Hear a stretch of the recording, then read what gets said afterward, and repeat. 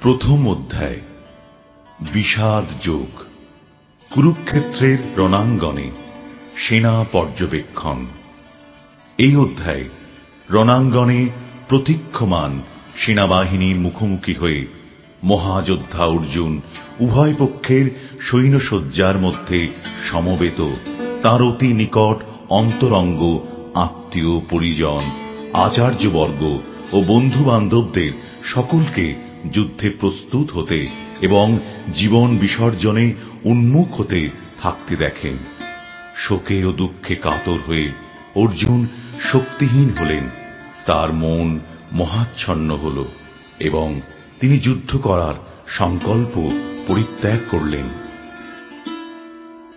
ধৃতরাষ্ট্র উবাচ, ধর্মক্ষেত্রে কুরুক্ষেত্রে সমবেতা मामकाः पाण्डवाश्चैव किमकुर्वत सञ्जय ধৃতরাষ্ট্র জিজ্ঞাসা করলেন হে সঞ্জয় ধর্মক্ষেত্রে যুদ্ধ করার মানসে সমবেত হয়ে আমার পুত্র এবং পাণ্ডুর পুত্রেরা তারপর কি করল सञ्जय उवाच दृष्ट्वा तु पाण्डवानीकम् व्यूढम् दुर्योधनस्तदा आचार्यम् उपसङ्गम्य राजा वचनमब्रवीत् সঞ্জয় বললেন হে রাজন পাণ্ডবদের সৈন্যসজ্জা দর্শন করে রাজা দুর্যোধন দ্রোণাচার্যের কাছে গিয়ে বললেন पश्यैताम् पाण्डुपुत्राणाम् आचार्यमहतीम् चमूम् व्यूढाम्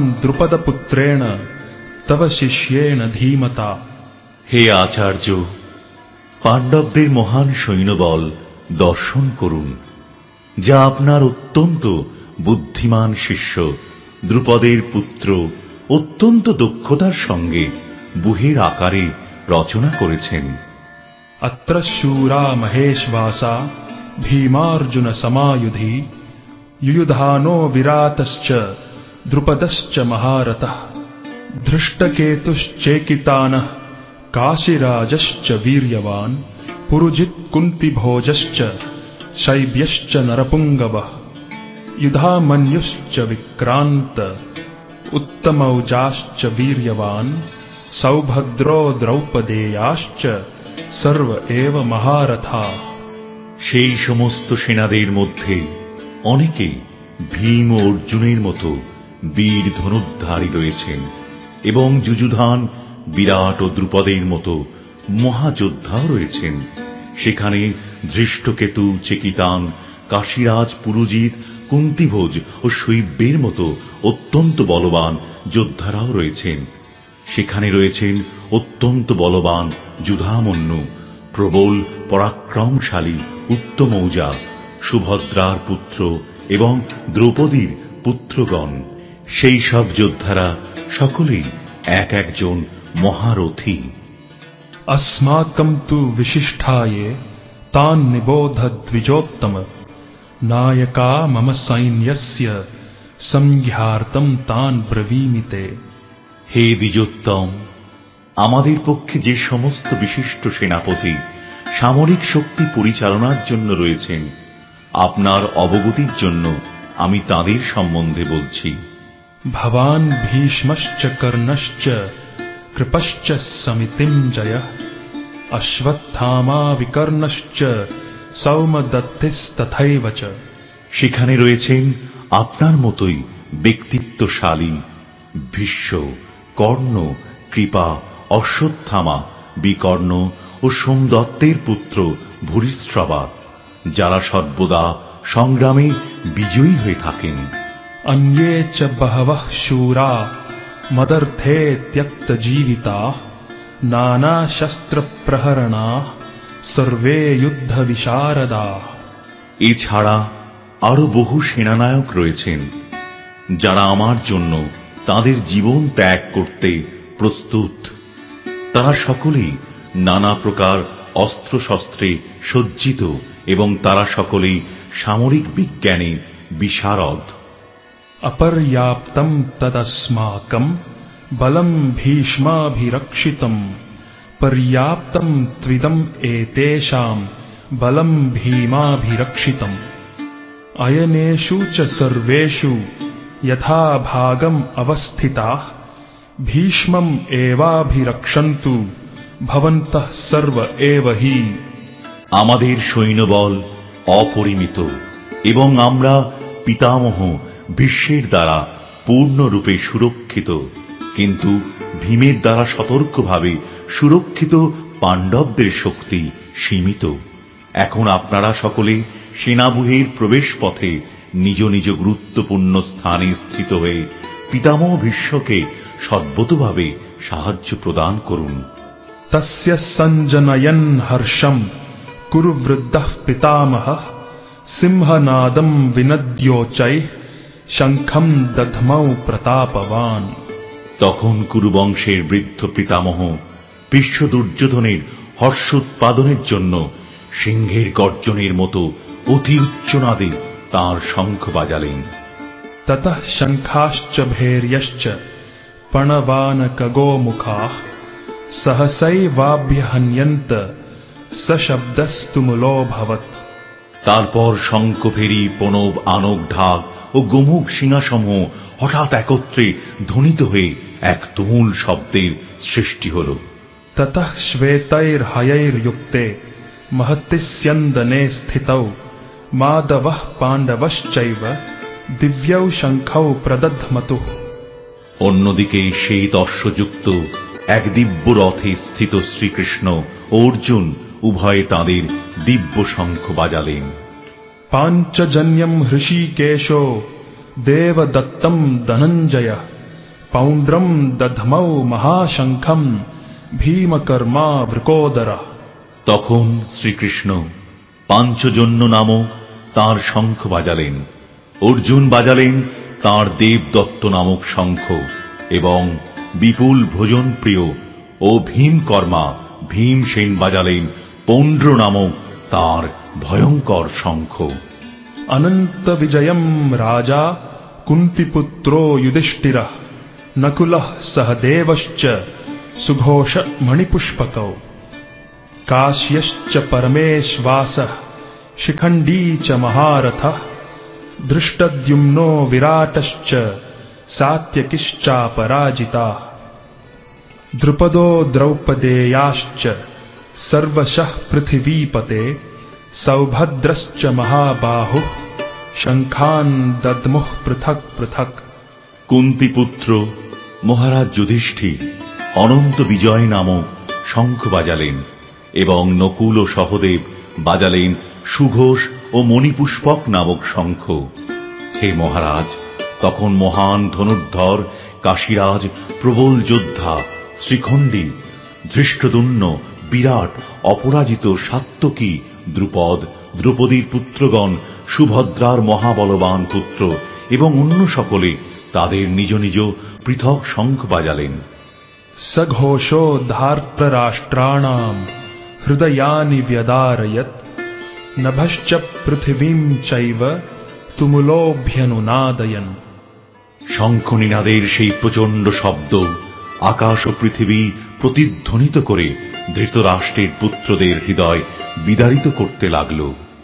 অথ ব্যবস্থিতান দৃষ্টা ধার্তরাষ্ট্রান কপিধ্বজ প্রবৃত্তে শস্ত্র সম্পাতে ধনুরুদ্যম্য পাণ্ডব ঋষিকেশম তদা বাক্যম ইদমাহ মহীপতে সেই সময় পাণ্ডুপুত্র অর্জুন হনুমান চিহ্নিত পতাকা শোভিত রথে অধিষ্ঠিত হয়ে তার ধনুক তুলে নিয়ে স্বর নিক্ষেপ করতে প্রস্তুত হলেন হে মহারাজ ধৃতরাষ্ট্রের পুত্রদের সমর শয্যায় বিন্যস্ত দেখে অর্জুন তখন শ্রীকৃষ্ণকে এই কথাগুলো বললেন अर्जुन उवाच सेनयोरुभयोर्मध्ये रथम् स्थापयमेच्युत यावद् एतान् निरीक्षेऽहम् योद्धुकामान् अवस्थितान् কাইর্ময়া সহযোধব্যম অস্মিন রণসমুদ্যমে অর্জুন বললেন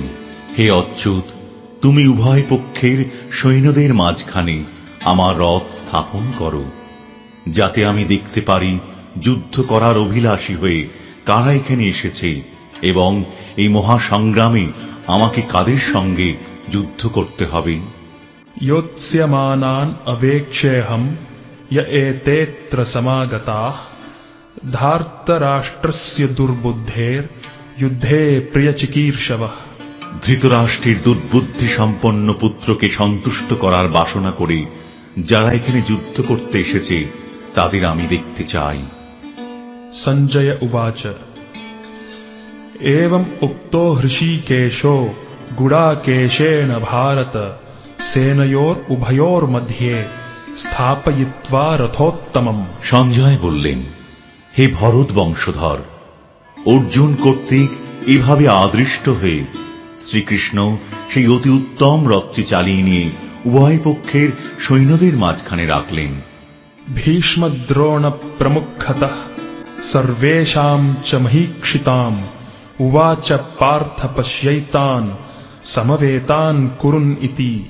ভীষ্ম দ্রোণ প্রমুখ পৃথিবীর অন্য সমস্ত নৃপতিদের সামনে ভগবান ঋষিকেশ বললেন, হে পার্থ, এখানে সমবেত সমস্ত কৌরবদের দেখো। তত্রাপশ্যৎস্থিধান পার্থ, পিতৃণ অথ পিতামহান আচার্যান মাতুলান ভ্রাতৃণ, পুত্রান পৌত্রান সখীংস্তথা শ্বশুরান সুহৃদশ্চৈব। সেনয়োর উভয়োরপি। তখন অর্জুন উভয় পক্ষের সৈন্যদের মধ্যে পৃত্তিব্য পিতামহ আচার্য মাতুল ভ্রাতা পুত্র পৌত্র শ্বশুর মিত্র ও শুভাকাঙ্ক্ষীদের উপস্থিত দেখতে পেলেন।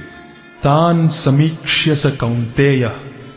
সর্বান বন্ধুন অবস্থিতান। কৃপয়া পরয়াবিষ্ঠ বিশিদ্দান নিদমব্রবীত তখন কুন্তিপুত্র অর্জুন সকল রকমের বন্ধু ও আত্মীয় স্বজনদের যুদ্ধক্ষেত্রে অবস্থিত দেখলেন।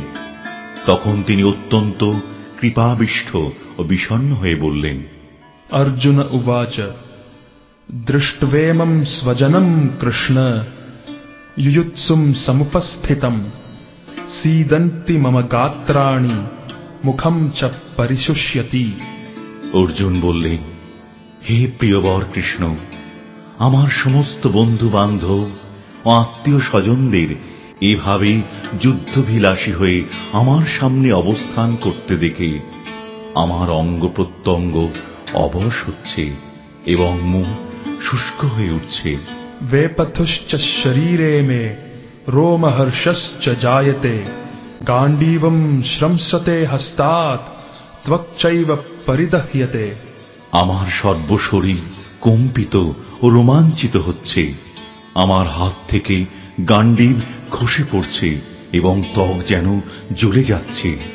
নচ শক্নোম ব্যবস্থাতুম ব্রহ্মতীব চমে মে মনঃ নিমিত্তানি চ পশ্যামি বিপরীতানি কেশব।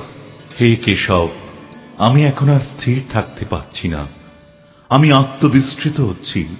আমার চিত্ত উদ্ভ্রান্ত হচ্ছে হে কেশী দানবহন্তা শ্রীকৃষ্ণ আমি কেবল অমঙ্গল সূচক লক্ষণ সমূহ দর্শন করছি न च श्रेयो अनुपश्यामि हत्वा स्वजनमाहवे न काङ्क्षे विजयम् कृष्ण न च राज्यम् सुखानि च হে কৃষ্ণ যুদ্ধে আত্মীয় স্বজনদের নিধন করা শ্রেয়স্কর দেখছি না আমি যুদ্ধে জয়লাভ চাই না রাজ্য এবং সুভোগও কামনা করি না किम् नो राज्येन गोविन्द किम् भोगैर्जीवितेन वा येषाम् अर्थे काङ्क्षितम् नो राज्यम् भोगा सुखानि च तैमेव स्थिता युद्धे प्राणाम् त्यक्त्वा धनानि च आचार्याः पितरः पुत्रास्तथैव च पितामहाः